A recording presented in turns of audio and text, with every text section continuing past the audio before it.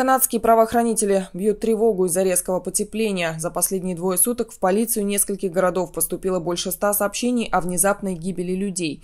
Только за вторник полиция Ванкувера получила 20 таких сообщений. В обычные дни в городе случаются 3-4 внезапные смерти.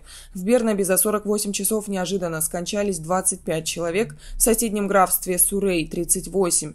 Много звонков с сообщениями о внезапных смертях получили также полицейские Аббатсфорда и Виктории. Пугающую статистику правоохранители связывают с аномальной жарой. Ее жертвами чаще всего становятся пенсионеры.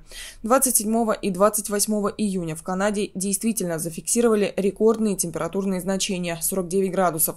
В ряде канадских провинций температура подскочила до 40-45 градусов. Синоптики обещают скорое похолодание, однако в некоторых районах жара продержится до конца недели.